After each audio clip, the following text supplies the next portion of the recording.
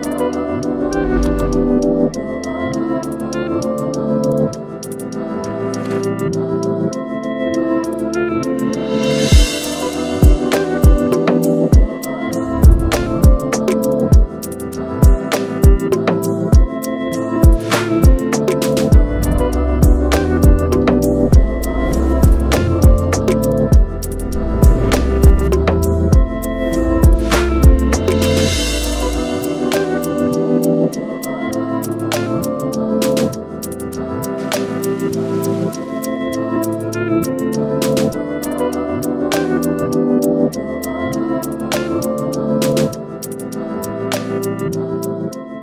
No idea places like this even existed in the United States.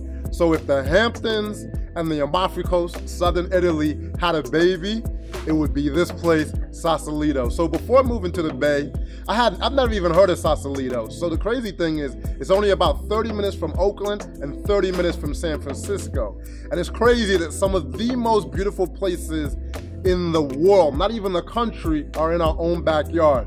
So that being said, it's definitely worth a flight. And if it's driving distance from you, it's a no-brainer. And it's like a small town feel, about 7,000 people live in Sausalito. And so I wanna give you a little history on the town, right? So you're gonna see all the beauty, but let me give you a little history on this part of town. So during the gold rush and after the gold rush, this is when people started to migrate here. They're like, yo, what's this beautiful piece of land over here? And so there was only two groups that really started exploring. That was your people who were balling and sailors because you could get there in about um, about an hour from San Francisco by sailing, right? And there's only wealthy people that had access to that, or sailors, because if you're going by horse and carriage, it would take you, it's about 100 miles, so you're talking over a day trip, and people are like, nah, fam, I'm not built for that. And so you can see that in the DNA of the culture today. So you're gonna see a lot of fishermen, and then you're also gonna see a lot of wealthy, aristocratic, you know, type of people like, oh my God, I'm driving my Porsche, I'm doing this and that. And so you can feel that vibe hundreds of years later. And so in this documentary, what I'm gonna break down is accommodations, things to do, places to go, best views, everything that you wanna know. And the thing is, I wanna say no matter what type of budget you have, you can enjoy Sausalito, but the thing is you don't gotta be balling to enjoy Sausalito because I've got all types of accommodations. And then also just day trips, just come and enjoy the place for the day. So first off, I'm gonna talk about accommodations. And so one of my favorite places that I've ever stepped foot in is Casa Madrona. And they have one of the dopest suites I've seen in my life. And it's probably the dopest suite in the San Francisco area. The TV in that joint alone it's probably worth more than the crib that I grew up in. But I'm gonna talk more about that a little bit later. But they have all different types of accommodations um, in Casa Madrona. So, you know, anywhere from, I think they start about $300 a night up to like probably 10,000 a night. And so the area, right, is right across from the water. So you get these amazing views. Even if in a regular room, you still get a pretty good view. Or if you go in the Alexandra Mansion, they have, you know, several different rooms. And that's where I spent most of my time in a suite. And I think that ran about $600 um, a night. And I had such a good time there. I actually, I actually ended up extending for two more nights. Everything's amazing there. So the staff, they make you feel so welcomed. The food is on point. They have the fireplaces. Oh, the spa, the spa is absolutely incredible. And so it's one of those places that if you want to go there, your girl is gonna love you forever. And then if you've just got money like that, I highly suggest it. Hotels that think about the little things. Charging station, this thing saves so much time and just talk about the word convenience. And then the one good thing about this hotel is their shuttle cart is actually the Tesla X. So thank you for thinking about the universe and thank you for thinking about saving my time. And now let me talk about the crown jewel, the Alexandria Suite. Now this place is what I could say, you know when you're in a restaurant and they don't even put the price of like the lobster, they say at market rate, and you know not to ask, it's like if you want it, you want it. Don't ask about price. That's the Alexandria Street. So this is if you're doing like corporate retreats, your royalty, or you just got that big budget where you're not really looking at price tag, throw it in the bag. That's not me. But um, if you that person, that's what this suite is all about. So there's something that's an absolute must when you visit Sausalito. And that's seeing the city from the water because it looks completely different. And one of the favorite ways, one of my favorite ways that I saw it was with Captain Timothy aboard the Chanuski yacht. So this was actually one of the things that's actually really affordable for what you actually get. And so it's $500 for the first two hours and each extra hour after that is $100. And so, and I actually found him on GetMyBoat. And so when I saw his like 35 reviews and they were all five stars, I was like, all right, this guy is legit. So when I got on board, I found out why he's one of the coolest mofos around. Um, and he has all the little extras that go the extra distance. And he is a real captain. I felt so safe with him and he'll literally do anything that you need and want. Literally when I walked on board, he said, other than safety, yo, this is your home now. This is your boat. And I felt that. And then so I went for the first time and I was like, this was such an amazing experience. I said, hey, is it possible that um, we actually spice it up and if I pay a little extra money, that we can enhance the experience? He's like, yeah, if you pay it, I'm providing. and so um, what we did is we had like a real catered lunch and we had like a butler service on board. And so depending on what you want to do, all those different options are available. And I cannot recommend him enough. I truly think he's one of the best captains I've ever had a chance of being on the water with. So like I said, there's so many different ways to see the water. And then I also went sailing. And so I've been sailing about probably six times with Captain Heather Richards. And so I actually first found her on Airbnb Experiences, and that was um, like a couple years ago. And then after, I still had her information. I said, hey, I'm looking to go out. And so the cool thing about this is you can go out for two, and it's a really cool date night. And so she's been sailing since she was a kid. So she knows these waters like a G. And I'm telling you, it's one of the most perfect date nights that you can have. There's just truly something magical about being on the water you get a completely different feel of Sausalito. And one of the most magical things that you can do at sunset is this. And one thing that people don't know is how accessible it is. Literally about $150 an hour, $300, you could be out here for a couple hours just experiencing some of the most majestic views that you're gonna see anywhere in the world. I mean, there's a reason that I've done it six times. And you can bring your own food, your drinks, and just experience, like my um, time I recommend is either in the afternoon where you get like, you know, you can see marine life, the whales, sometimes you're definitely most likely gonna see seals 100%, and sometimes you see dolphins. And so that's just like one amazing experience that you can have. And like I said, you can bring food, wine, whatever that you wanna bring aboard, and then highly recommend her. She's one of the coolest out. So I know I've been talking about being on the water nonstop, but we gotta eat, right? And so one of the coolest dining experiences I had was at Osteria Divino, and the owner actually happened to be there while we were there, and she's from Italy. And when I say that you can taste the love in the food. I mean it. Sausalito is the little Italy of California. So of course we had to go to the best Italian restaurant in town, Osteria Divino. And when I tell you this is authentic, this is the most traditional Italian you're gonna get in this area. The chef is actually from a small town from Florence and it's absolutely phenomenal. I backpacked Italy and I'm vouching for all of this. We originally planned to stay for about an hour and a half, get food, a couple glasses of wine, and dip out. Hour and a half later, couple more cocktails. We're like, hey, keep it rolling. We had more food, and then we I think we ordered like two more bottles of wine, more cocktails, and the food. I'm telling you, it was a whole experience while you're there, and it's like off in the cut. So it was just real cool.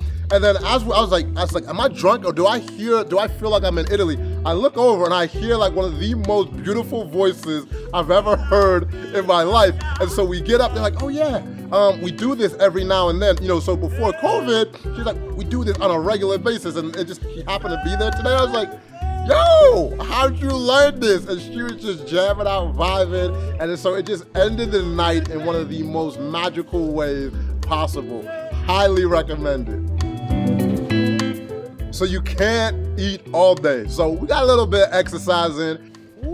What a beautiful morning. Got up early, 8 a.m. Actually got up at like 7 a.m. this morning. So excited to do, what are you doing today? I'm paddle boarding. I'm a pro, he's scared to fall in I'm a professional at this. but there's a reason why I'm scared. In Mexico, I kept falling in nonstop, and I said, hey, I want to look good while I'm doing this, so I'm not going to embarrass myself. So I'm in the kayak. She's doing the stand-up paddleboarding. And so we're in Sausalito here with Sea-Trek. And um, one of the dopest things is like Sausalito is like it seems like a place away from everything in the bay and you're in a completely different world. Hopefully we're gonna see some seals today, a little marine life, and uh, just have a good time, get some exercise. Let's get it.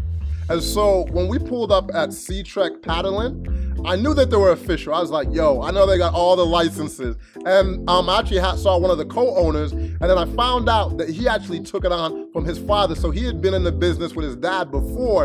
And so he was just even saying, and so one of the things that the pandemic has really taught me is how much I actually love being outside in nature right? So being on the water, getting some exercise, paddling, I was like, hey, how's business for you? He's like, we've actually been busier than ever. And I was like, it makes sense because people love being outside. And I tell you, it was a real exercise. And one of the coolest things is when we were um, paddling, we actually passed like the houseboats. And I was like, yo, these are actually dope. And so, you know, just seeing the water from so low, seeing seals that we passed by, is one of those experiences that would just, it's like unforgettable, really. It's just like an amazing experience and then also exercise, right? Get a little exercise, sunshine in the morning. Um, you get these for about 25 bucks an hour you know, just come enjoy for a few hours. And literally we saw seals earlier. You might see um, little dolphins. What are they called again?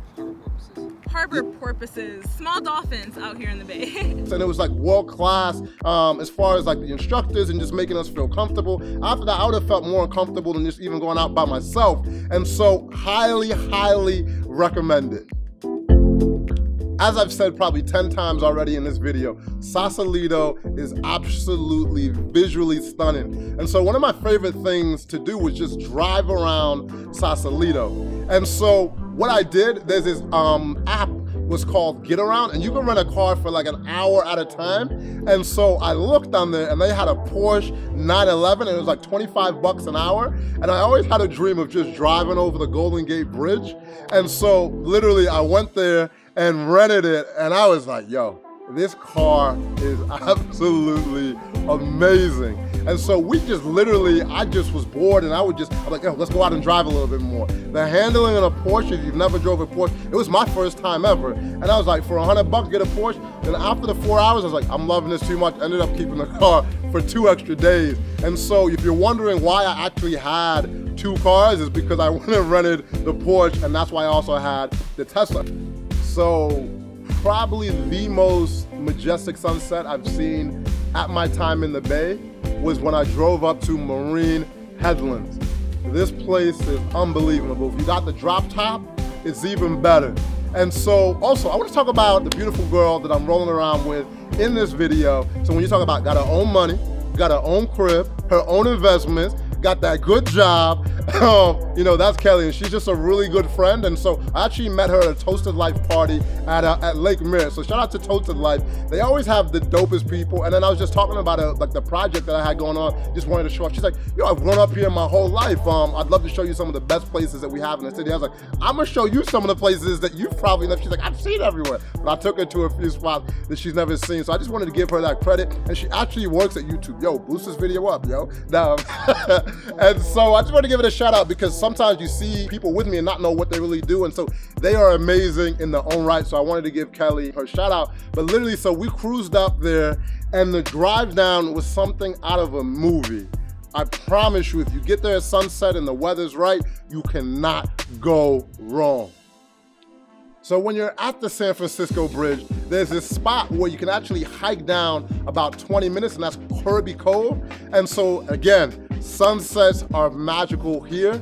And so what we did, we did a hike down to Leah. Shout out to our producer. She's like, yeah, it's just about 10 minutes. 10 minutes, I was like, yo, this ain't no 10 minutes. 10 minutes later after that, we actually made it down and it was definitely worth the vibe. And so during the pandemic, we've adapted, right? We're not going to restaurants as much. And so we actually brought the picnic set out. So we, you know, brought a bottle of wine, we had some food. And that's one of the things that I love about you know, just adjusting to the times, right? So we're resilient people, not like, oh my God, poor me. Like, no, we adjust, we adapt, right? And be safe. And so we had just an amazing time down there. So one suggestion though, when the sun sets, make sure you start hiking back up because it gets real dark and it's a little, for me, I'm a little scared, man, walking back up. I was like, man, what kind of animals they got out here, fam? I was like, I don't know, man. Let me take my ass back up to the top. But um, highly recommend it. It's just one of those secret spots and there's not many people down there. And so you get a view of the Golden Gate Bridge that most people have probably never seen in their life. And then while we're talking about picnics, there's another cool spot actually like in the town center of Sausalito, and that's called Plaza Viña del Mar. Um, they have a beautiful fountain there. And so we did another picnic there, and I guarantee you, as long as the weather is good, it's a vibe, you know, nobody's bothering you. And it's just, I'm telling you, Sausalito's something out of a movie. I promise you, is one of the best weekend trips you can take. So if you know anything about California, they definitely known for their wine. And so Sausalito is not known for their wine. It's not a wine region. But when we were walking by, we saw this colorful spot called Hanson, and that's like what drew us in. And then so we started talking to them, and they were actually gracious enough to let us film. And so when we went in there, we learned that they were like literally one of the only organic spirit makers in the world. And so, and they also have their vineyards. And so I was like, man, is it possible? Like I said, they let us come in and film. They had snacks. So it's just a really good place. Literally, it's in like the town center. You can't miss it. So when we were walking by, we stopped in, we had a few drinks. The cocktails were amazing. And then we just learned a little bit more. They also had like an art gallery inside, and we learned a little bit more about the family and the history and the tradition and why they wanted to start, you know, the organic brand. And so highly, highly recommended again. Literally, if I don't recommend some, I'm not gonna put their ass in the video. So when I say highly recommended, it's because we do some things, I'm like, nah, that's not really the vibe. But everything that we do, I think about my friends back home. I was like, could I recommend this to the, could I recommend this to them? And if it's a yes, I put it inside the video. So talking about more food, you know the boy love to eat. So there's no shortage of food. And so what I wanna talk about is a place called Fish when you talk about mood, if it was like a vibe, an actual thing, fish is actually a mood. And so it's right on the water. And so when I was walking by, I literally saw them bringing in fresh fish. And I was like, it makes sense. We're literally on the water. And so it's one of those places, and they also have a lot of um, local um, farmers that they source a lot of the ingredients that they cook with. And so I can't recommend, um, I had so many different things. Actually, I'm gonna let Talia talk about the food. So when trying to find where to go for lunch in Sausalito, everybody recommended that we come here to fish. It's right along the water. The entire view is like an Italian little countryside going on. And I got the Dungeness crab roll. My favorite thing in the world is lobster rolls. I've never had a crab roll before. And this has Dungeness crab, which is listed as one of the most popular things to eat when you come visit Sausalito. And then check out this really colorful ahi tuna salad. Look how pretty that is. But yeah, 90% of their ingredients are organic. Tons of their seafood are from local fishermen. And yeah, this just had to be a must stop when we came to visit. And I'm excited to eat. And so another thing I recommend you do in Sausalito, and it don't cost you no money, that is actually walk around. It's a very walkable city. And so you'll just be able to see the entire city, you'll see people, and then when you're out for a few, a few days, you'll see some familiar faces. So that's one of the things I highly recommend that you do. And so another beach that is not far away is uh, Murrah Beach. I'm not sure if I'm pronouncing that right. And so what I'm gonna do is I'm just gonna let you vibe out and enjoy the scene at Beach.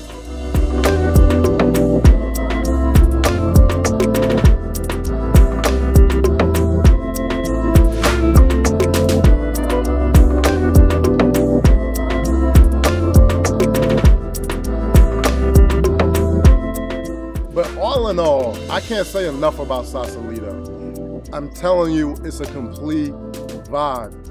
And so if you're looking to visit, some of the best times of year I would suggest would be anytime from June until the end of October. And so the craziest thing about the Bay is some of the best weather is actually in October. So you might think, oh, summertime weather.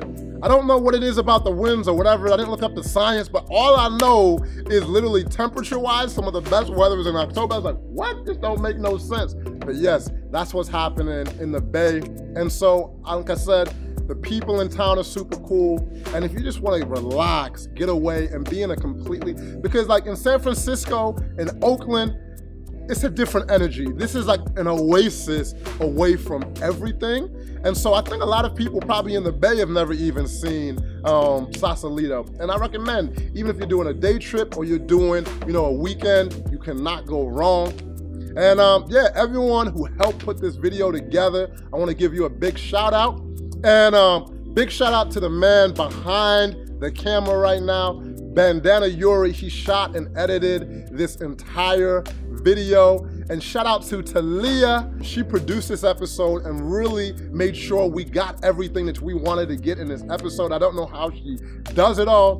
And then shout out to Exaya Isaiah McNeill on the keys. People are always asking, yo, where do you get that music from? That boy is a genius. So literally everything that we do is a custom score. And um, I just want to send a shout out to everyone in Sausalito for being so cool and welcoming. And so shout out to San Francisco as well, Oakland, all my people. And we got so many more videos on the way. Stay tuned. I got more videos for your head top for real, for real. Anyways, y'all have a beautiful one. And if you have any questions about Sausalito, just leave it in the comments and um, hopefully, you know, we'll get an answer for you. Take care.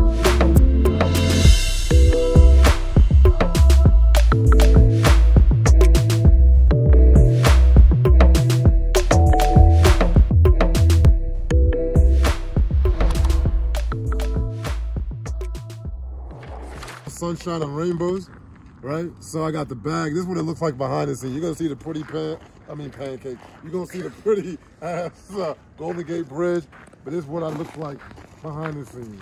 Oh man. All right, man.